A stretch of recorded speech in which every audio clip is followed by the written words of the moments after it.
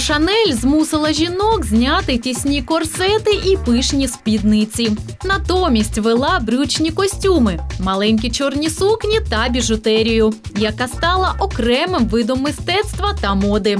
Простота та витонченість підробних прикрас стали візитівкою будинку Шанель. Сама ж Коко завжди говорила: люди з хорошим смаком носять біжутерію, всім іншим доводиться носити золото. А як же відрізнити ювелірні вироби з благородних металів від біжутерії? На що в першу чергу потрібно звернути увагу? Ми запитали в експерта. При покупке ювелирных украшений всегда обращайте внимание, чтобы на изделии стояла проба. Именно государственного образца. У вас будет гарантия, что данное изделие прошло украинскую пробную палату и является официально сертифицированным в Украине.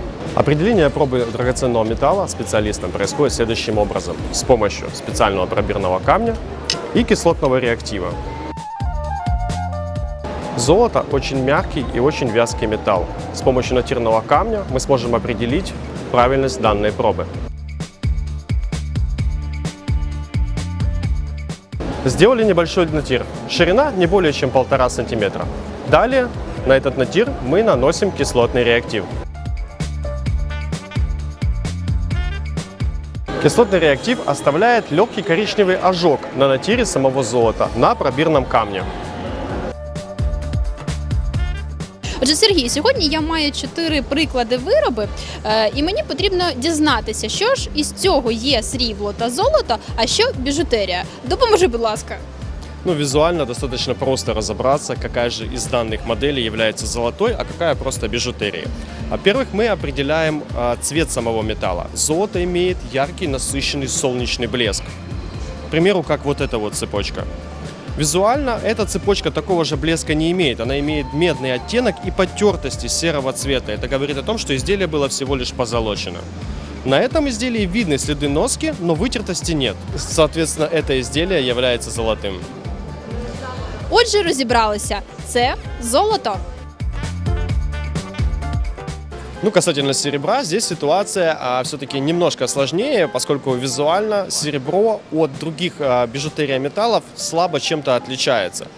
Главным методом проверки будет все-таки намагничивание изделия, то есть прикладывание его к магниту. Настоящее серебро не магнитится. Плюс ко всему прочему, практически все производители серебряных украшений ставят достаточно большие клейма на своих украшениях. Отметка 925 является государственным стандартом для серебряных украшений. Тобто ми знайшли срібло. Да, все верно. Из этих двух изделий я бы назвал именно вот это вот изделие серебряным, визуально определяя его просто на глаз. Так как на другом украшении у нас никакой отметки, никакой пробы не имеется.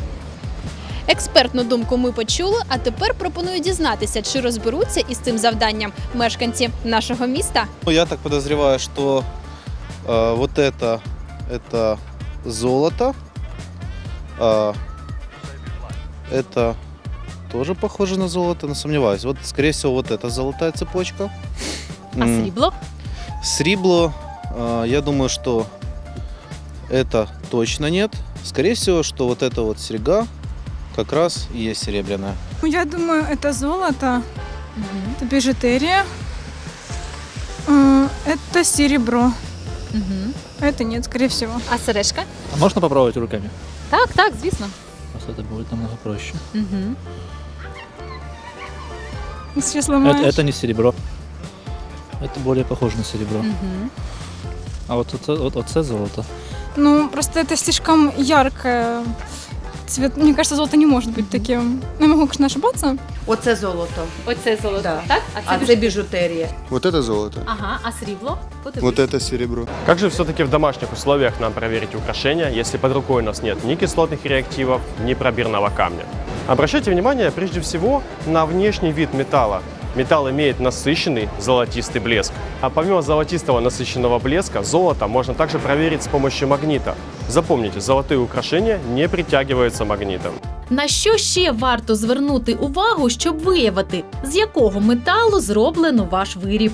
При носке золотых украшений обращайте внимание на следы на коже, которые остаются у вас При носке настоящего золота у вас никогда не останется следов на коже.